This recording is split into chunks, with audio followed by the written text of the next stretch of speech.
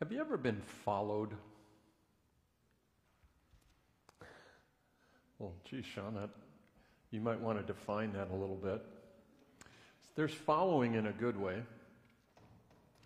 and then there's following in a frustrating way, and then there's being followed in an icky and creepy way, and then there's being followed in a dangerous way.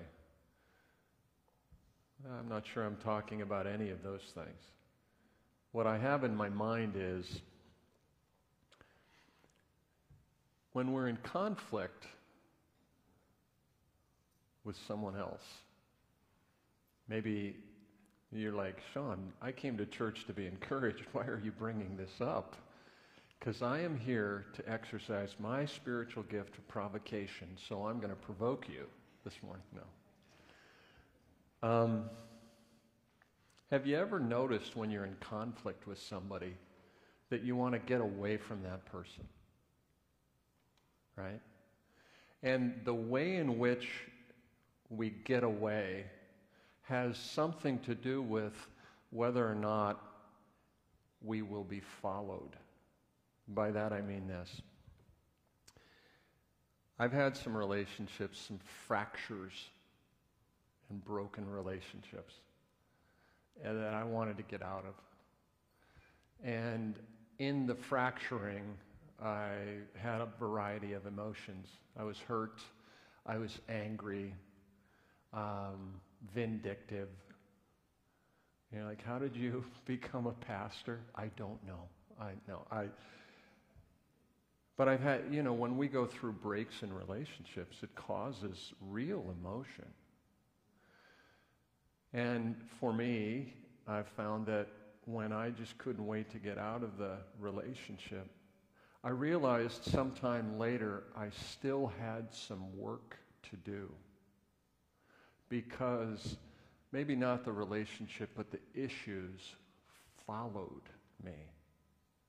And I didn't want to be followed by those issues. I just wanted to get away.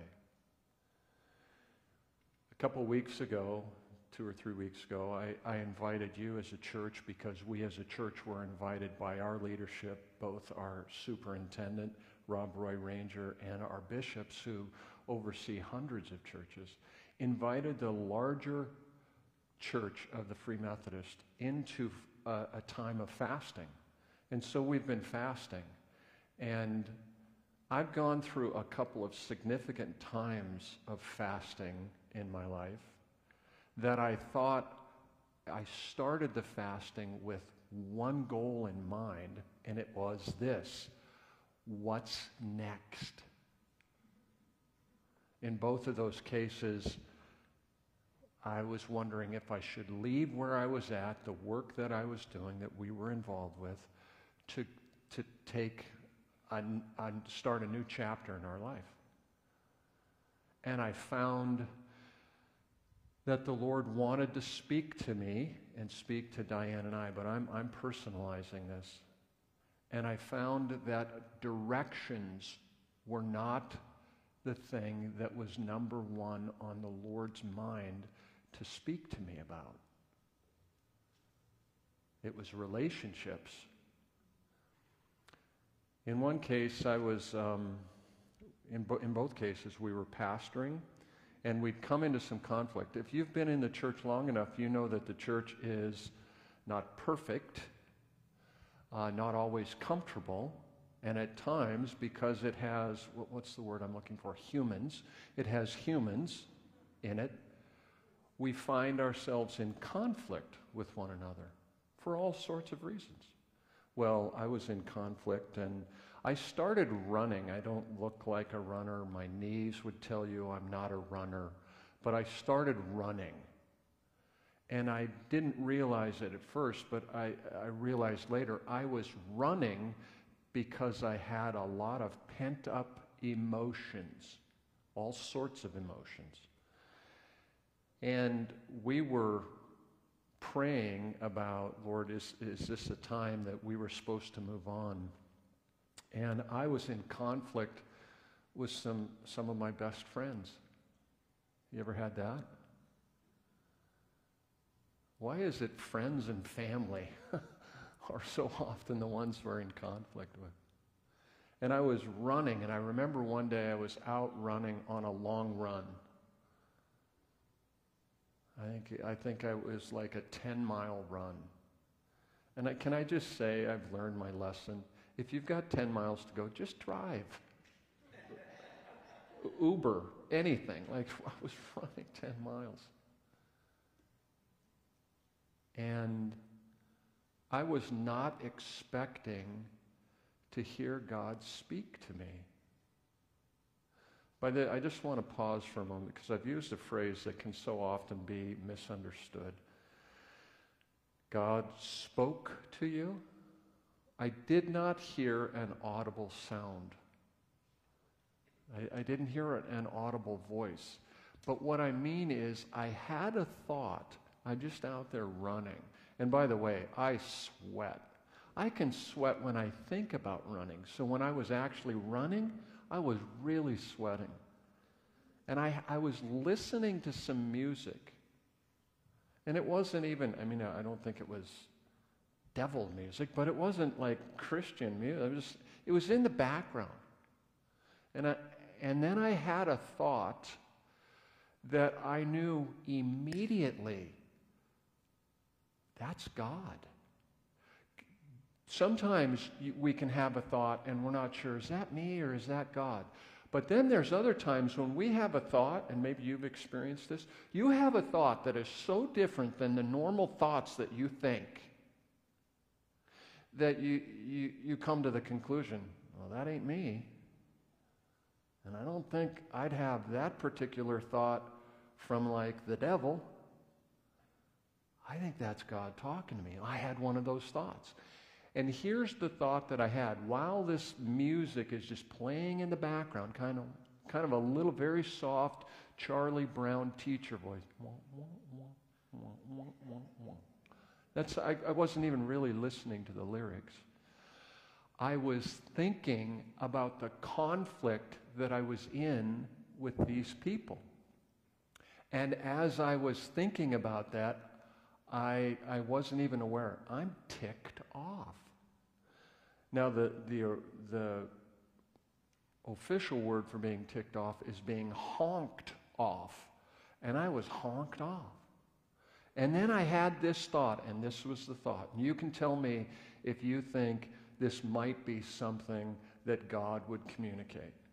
This was the thought that came into my mind. Don't demonize any of the good people that you're in conflict with. What? I can I could take you to Newberg, Oregon, right where I was running, right when I had that thought. It was it was one of the most impressionable experiences I've had in my life with God. And I wish I could always distinguish how quickly something is of God and, and not me or the world. But I knew then, and I, this was my thought. I heard the, this word, this, this thought don't demonize any of the good people that you're in conflict with. And my first thought was, you're kidding, right? You're absolutely kidding.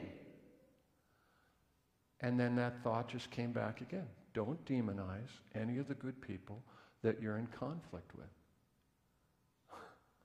And I said, after that, I went, not even a little? My parents, I think I wore them out. It's like, just do what I said. Well, I have some questions. I'm an inquisitive guy. Not even a little? But I knew this was the, the Lord God speaking to me in a way that I could understand. Well, that conflict did not get resolved for a long time, not in my life. We moved, and I'm four years down the road from that move, and about four and a half years down the road from that encounter with God where I had I knew he was talking to me.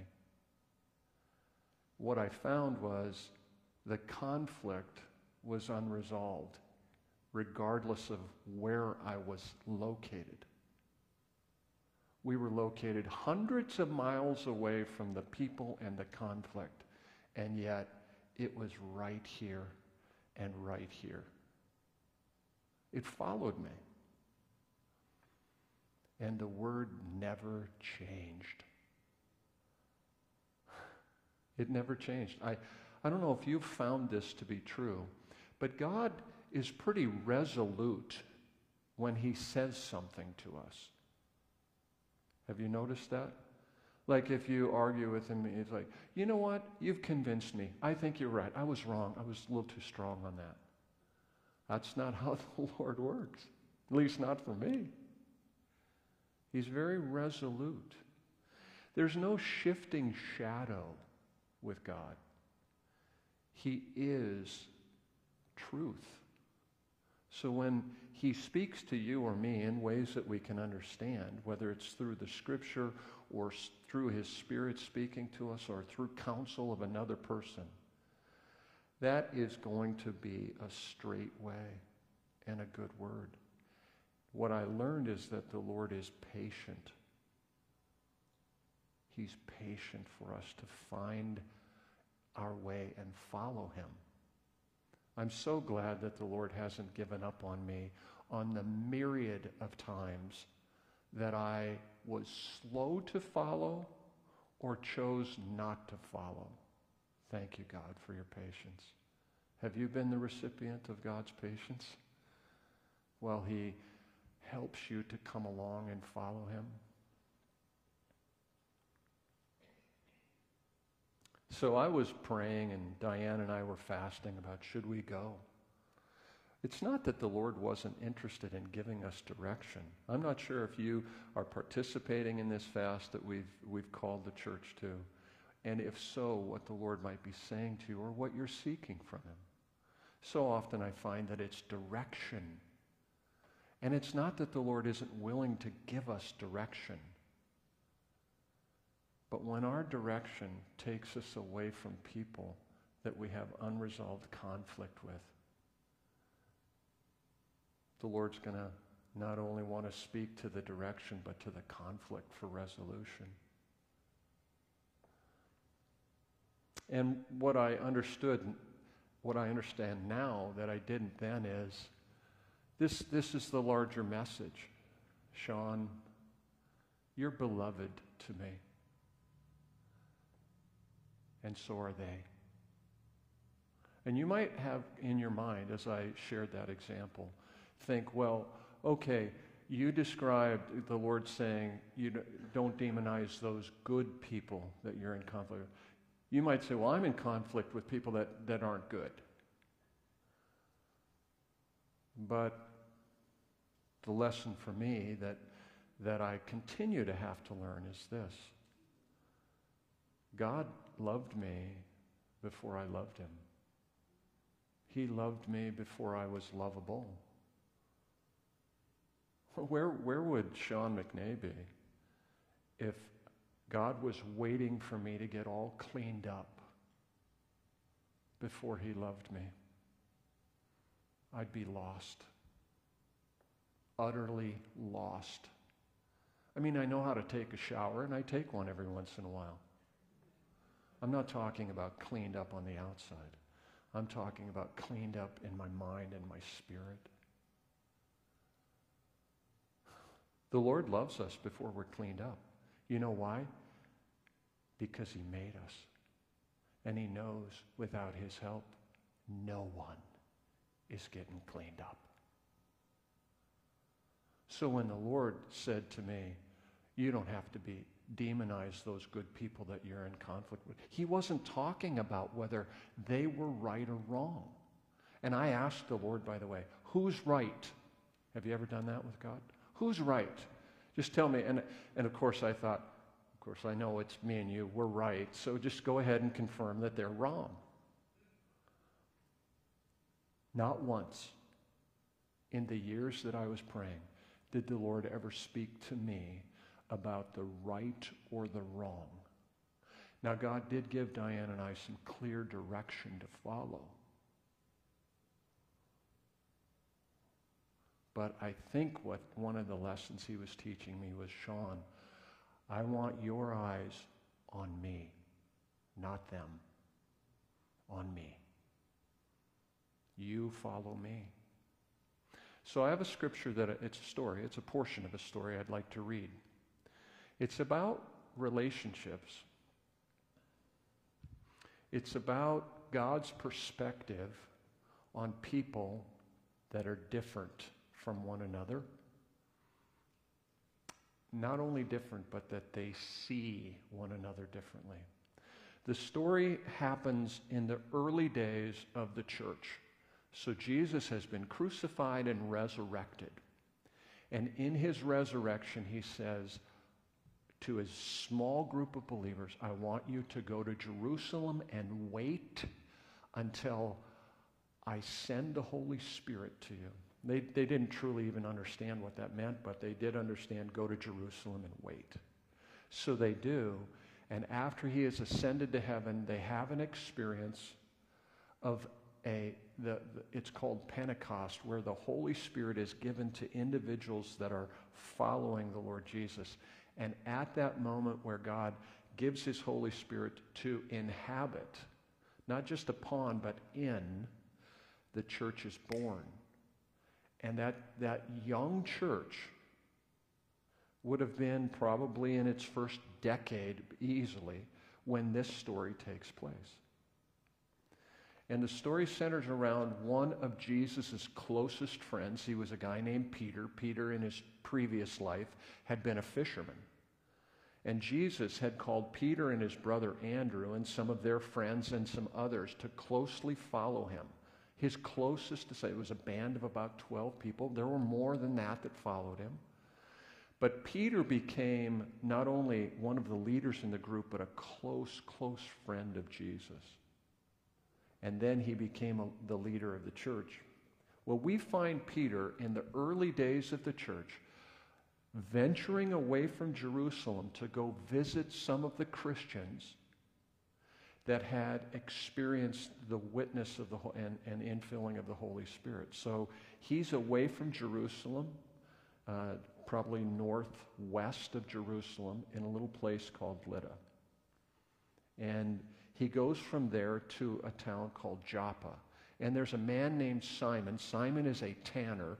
And Simon and Peter are friends. And Simon, says, Hey, you can come and on your travels, if you need a, a home base, you stay with me.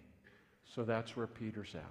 We pick up the story in Acts chapter 10, and it reads like this Acts chapter 10, starting in verse 1. In Caesarea, which is about uh, 30 miles away from Joppa, where Peter's at, Caesarea would have been on the coast. In Caesarea, there lived a Roman officer a Roman army officer named Cornelius, who was a captain of the Italian regiment. He was a devout, God fearing man, as was everyone in his household. So this is interesting. Cornelius isn't a Jew. He's a Roman soldier stationed in what would have been Israel or Palestine. But he is a God fearing man, which means that he has accepted that the God of the Jews is the real God, and he is a follower of that God. That's what it means here when Luke, who's writing the book of Acts, says he's a God fearing man. So essentially, he's a Roman converted to, uh, to become a Jew or the follower of the, the Jewish God. It says, one afternoon about three o'clock, he had a vision, that's Cornelius, in which he saw an angel coming toward him. Cornelius, the angel said. Cornelius stared at him in terror. What is it, sir? He asked the angel. The angel replied, Your prayers and gifts to the poor have been received by God as an offering. Now send some men to Joppa and summon a man named Simon Peter. He is staying with Simon the tanner who lives near the seashore. Simon by the seashore. I think that's where that little, you know, and I think he sold seashells, right? Cornelius would have been a, a, a soldier, a leader of soldiers. And he has this vision that's kind of terrifying to him. Like he's being approached by an angel, and the angel has a specific word for him. God has heard your prayers and received your offerings. In other words, God knows who you are. By the way, it's with confidence that I say to you this morning God knows you. He knows who you are. He's intimately acquainted with you. As soon as the angel was gone, Cornelius called his two household servants and a devout soldier, one of his personal attendants. He told them what had happened and sent them off to Joppa. So there's, this would be an example of, you remember when I said I knew right away that was God talking to me? Not all of the time do I. This would have been one of those moments for Cornelius where he was certain uh, I, that wasn't just the pizza I ate the night before. That was God speaking to me. So he acts on it right away. And he sends some people, go get this guy, and here's where he's staying. He told them what had happened and sent them off to Joppa. Verse 9 The next day, as Cornelius' messengers were nearing the town, Peter went up onto a flat roof to pray. This would have been the, flat, the roof of Simon's house where he was staying. It was about noon and he was hungry. You ever been hungry? Like I'm a little hungry right now, but I'll finish the sermon. Peter is hungry. But while a meal was being prepared, he fell into a trance. He saw the sky open, and something like a large sheet was let down by its four corners. In the sheet were all sorts of animals, reptiles, and birds. And then a voice said to him, Get up, Peter, kill and eat them. No, Lord, Peter declared. I have, and again, okay, just so you know, this would be another example of it doesn't always happen this way, but Peter knew instantly this wasn't just, I'm hungry, and I'm thinking about food. He is very aware that something is happening where the Lord is communicating to him. And he replies, No, Lord, I have never eaten anything that our Jewish laws have declared impure and unclean. So we can know, really, it's not just implication. Whatever was in that sheet that was let down, that the Lord said, It's dinner time, those were the things that Peter said, those don't those aren't appropriate for me. I don't know, Lord, if you know, but I'm a Jew and those aren't appropriate. So he says, No. Which is interesting, those that phrase together, those two words. No Lord. If you're going to call someone Lord and you say no, then the, the word Lord maybe doesn't fit. You could say no, sir. No way, Jose. But if you refer to somebody as Lord, what you're saying is you're, you're making a statement of your relationship to them.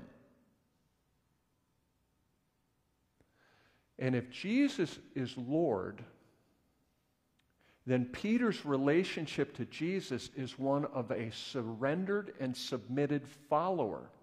So the idea of no Lord is that's doesn't work. But Peter isn't trying to just be stubborn. He doesn't understand what's being put before him. And then it goes in verse 15. But the voice spoke again Do not call something unclean if God has made it clean. The same vision was repeated three times. Then the sheet was suddenly pulled up to heaven. Peter was very perplexed. What could the vision mean?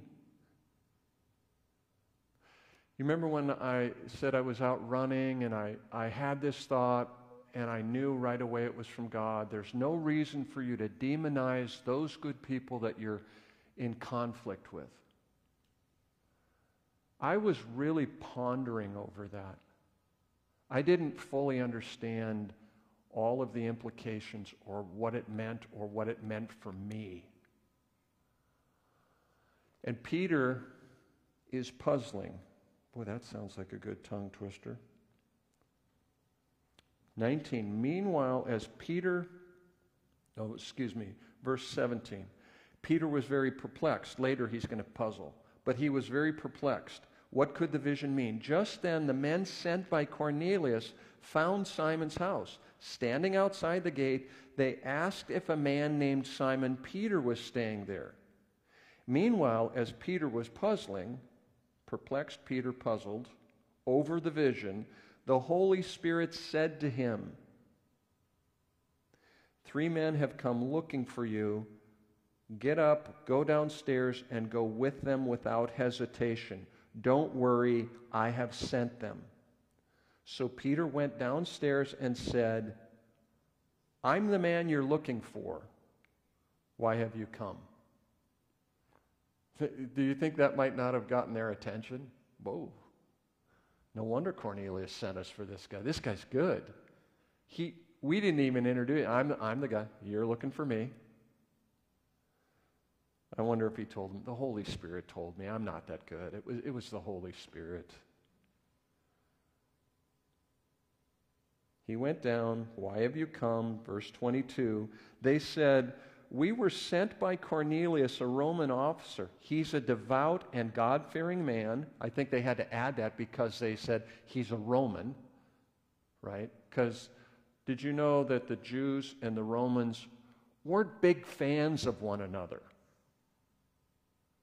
They hated one another, despised one another. Uh, we're servants of Cornelius, the Roman officer, God fearing guy. He's God fearing guy, just so you know. He's not just a Roman, better known probably because he's a God fearing guy.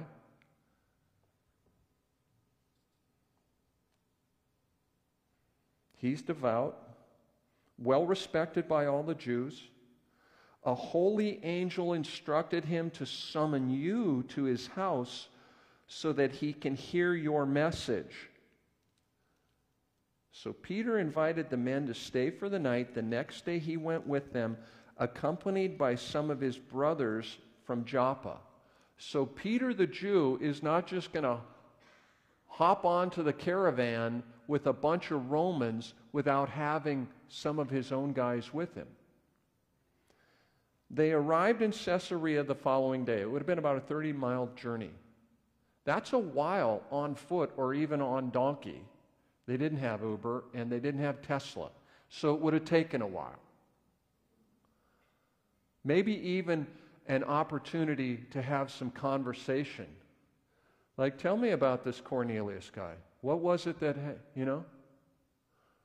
Maybe Peter just stayed with his brothers, the, the Jews that were traveling with him.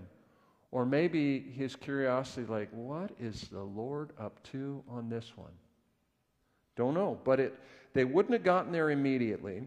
Verse 25 As Peter entered his home, Cornelius fell at his feet and worshiped him. But Peter pulled him up and said, Stand up. I'm a human being just like you.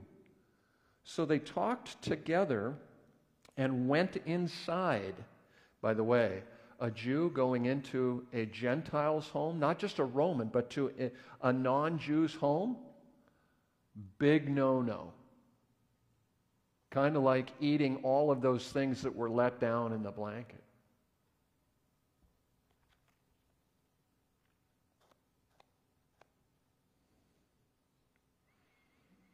They talked together. He went inside where many others were assembled.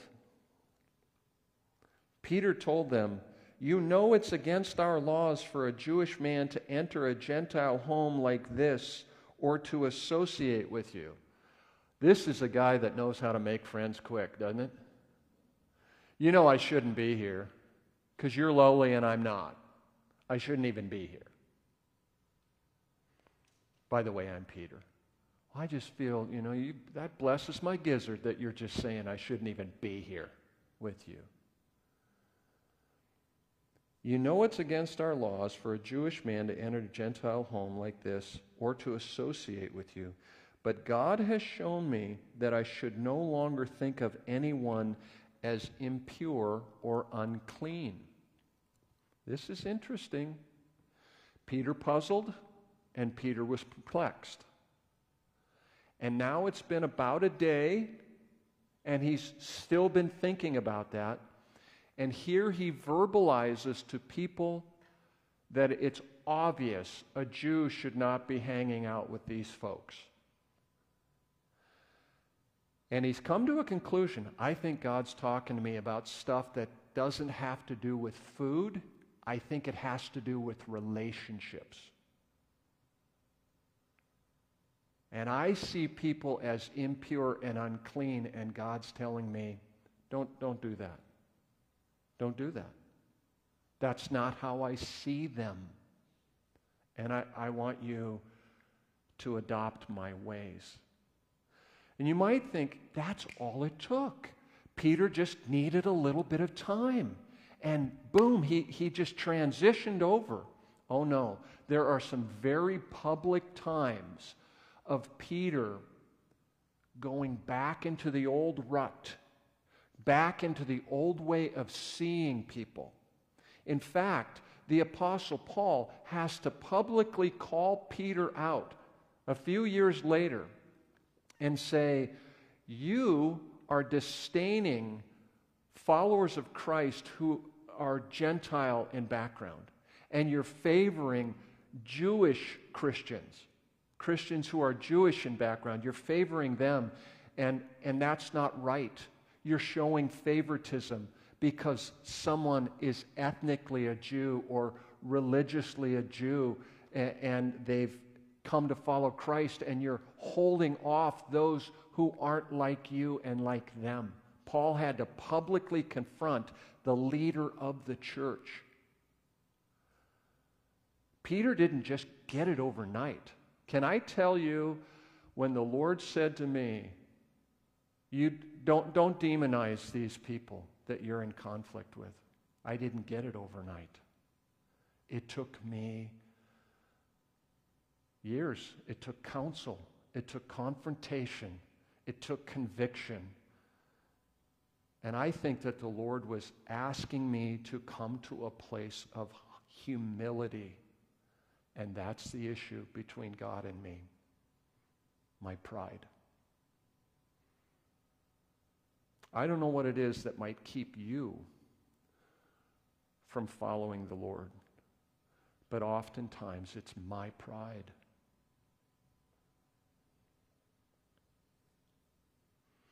I remember writing an email to one of the good people that I'd been in conflict with and confessing that I'd held this grudge against them. This was four years later. and asking for their forgiveness with not once ever hearing from God who was right, by the way. I still wonder, but I'm pretty sure I'm never going to. I'm, I'm, I think I'm going to get to heaven and I don't think I'm going to care about it anymore. I really, you know what? I don't care about it now. And I'm correct. This isn't heaven yet. I'm not in heaven yet, right? The Lord never spoke to me about who was right or wrong. Sometimes there is very clearly some, hey, that you're there in the wrong. But in my case, in that situation, that's not what the Lord spoke about. I wrote an email, and I, I, I have you ever done this? You, you have a letter to send or an, an email to send, and you like, just hit, hit, hit put, push button, send, hit send. I'm going to say, I don't know if I want to do that. I'm right there. I'll do it with my elbow. Why, why is it so hard? I finally sent it. I sat on the email for over 24 hours. You know the distance from here to the keyboard? It, it doesn't take 24 hours. But I waited. But it was the death of my pride, and my pride does not want to die. I hit it, and I can tell you, I had a physical feeling like not that I was levitating, but somebody had taken a pack of a hundred pounds of rocks off my shoulder. I literally I took this deep breath. And then I had this thought, why did I wait so long? And the Lord's like, I know, right? Just it. Are you, are you waiting on something that the Lord has, maybe He hasn't answered all of your questions. But, but your next right step is clear. And eh, let me just say, I, I don't ask the question for condemnation because you're looking at a guy who is just, I just, four and a half years to go from here to here? But the distance misrepresents the work God was doing in my life. And, and it was after I hit send that I really began to understand I'm beloved to God, and so are they. And if you've been in conflict with someone who's hurt you, let me just say this. I'm not here saying that the things that they said or did were right. Oftentimes, those things that hurt us really are wrong. But I want to remind you of what the Lord brings me back to on a regular basis. Shaun, I love you, and I've, I've, I've loved you before you ever came to any conclusions of who I was or that you wanted to follow me. I've loved you from the start. And it wasn't based on you being cleaned up. Now, I'm not saying the way we live doesn't matter. It does. Read the scriptures. The counsel from the Lord and his disciples, it's clear. The way we live and the way we treat one another does matter. But our worth and our value are not in what we do. Our worth and our value are found in who created us. This is such a slow lesson for me to learn. That the people that I disagree with, the people that maybe have hurt me, the people who have a, an ideology or a worldview that's a mile and a half down the road from mine, the Lord would say, I love them. They're beloved to me. Diane and I were listening to a uh, podcast, and there was this lady, and she was being interviewed, and she made a statement that was not easy to hear. I mean, I've been wrestling with it, and I thought, well, if I'm wrestling with it, I'm a guy that likes to share. I'd like to share with you the thing I'm wrestling with. And if you can wrestle with it too, great. So that would mean I won't be the only one in misery. Welcome to church. Aren't you glad you came? No, this has really been, it's been challenging me.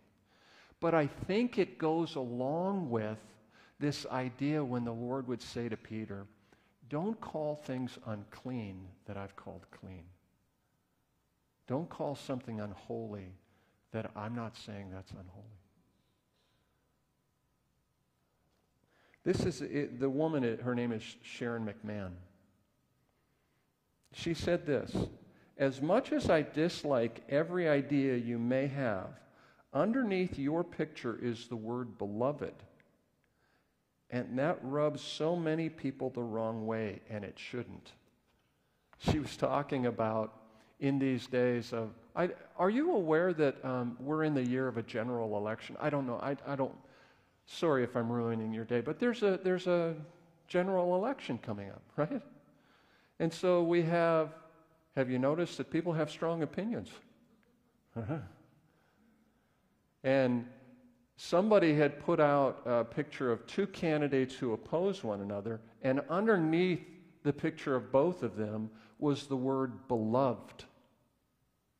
And it just honked off everybody.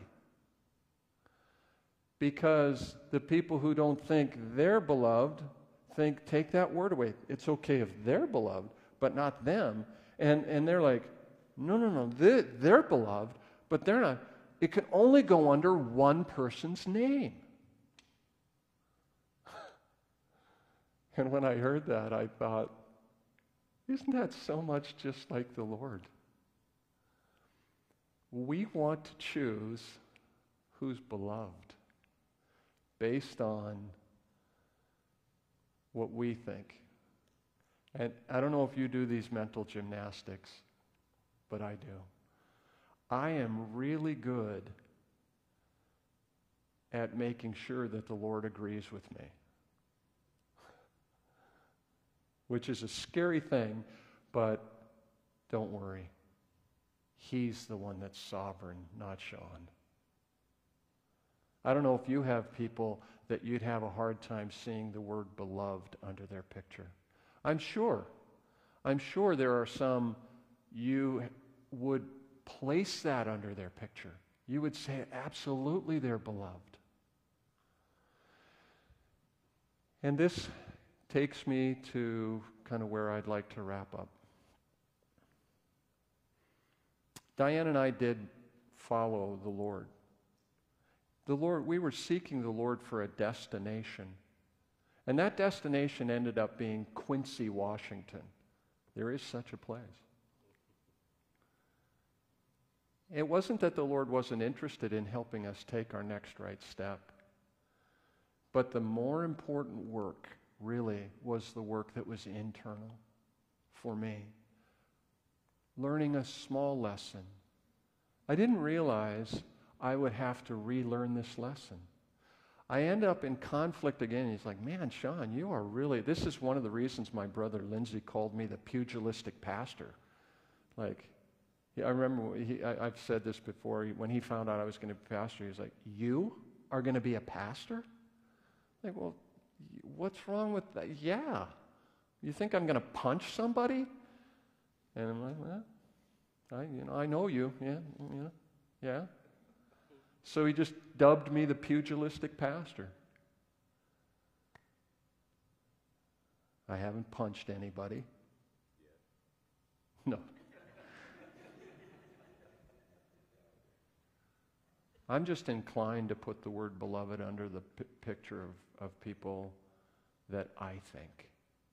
And I think what the Lord's teaching me again is this I'll lead you. I want you to follow me, and that involves directions. But relationships that are unresolved matter, and they follow us. And where the Lord brings back to is, is my pride getting in the way of me saying who the Lord can love, who the Lord can count as beloved. Now, you might hear this and think, yes, Shaun, it's important, though, that we surrender our lives. Absolutely, it is. Absolutely. That's the message that the Lord Jesus has given to his church. Invite people to surrender their lives in faith and follow him. That's the message. So if somebody chooses not to do that, they're no longer beloved? The value of the individual comes from the one who made them. This is why I can say at the end of each service, and we're not there, we, have a beautiful song to sing. The Lord bless you. The Lord keep you. The Lord make his face to shine on you and give to you his peace. That's, that's the Lord's desire for his people that he's created, that they would be blessed in him.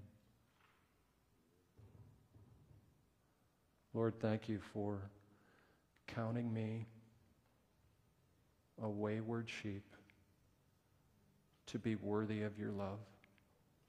Thank you for putting up with my pride and not giving up on me and helping me and being patient with me.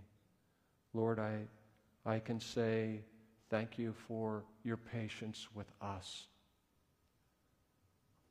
Lord, I'm asking that you would help me to see others the way that you see them.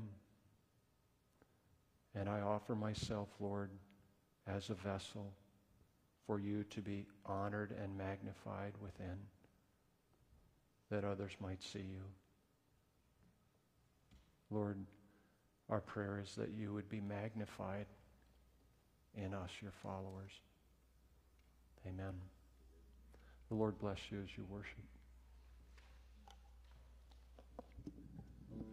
If you want to stand with us as we close with this prayer, really, that the Lord would be magnified, people would see how, how much He loves us and He loves them thank you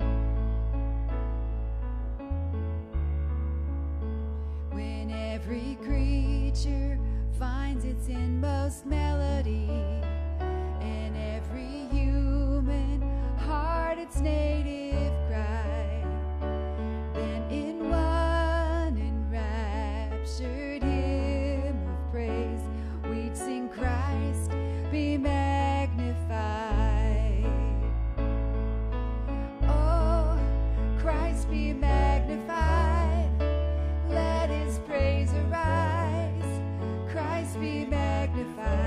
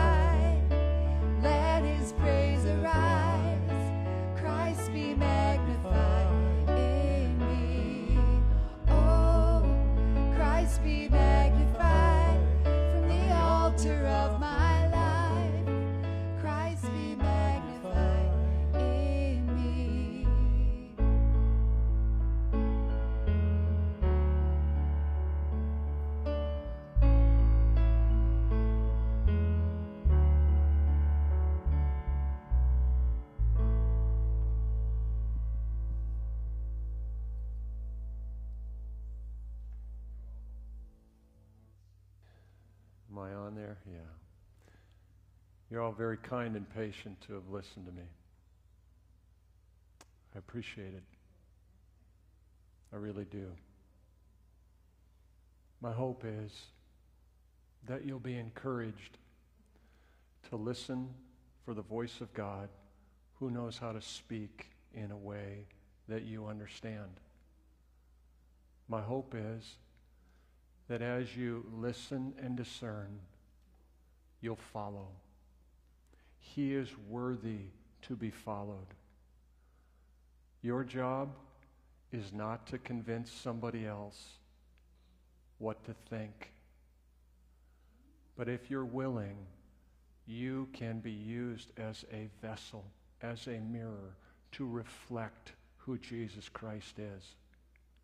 And He knows how to draw people in. So, as followers of His, I say to you, the Lord bless you. Be filled with the Holy Spirit. Follow the Lord as best as you're able with the faith that you have. Set aside pride and follow the Lord.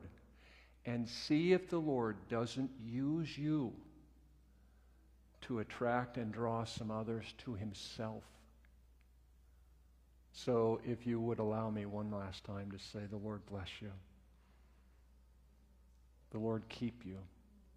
The Lord make His face, His pleasing, pleasing countenance to shine on you, so that you know you are His beloved, and you are.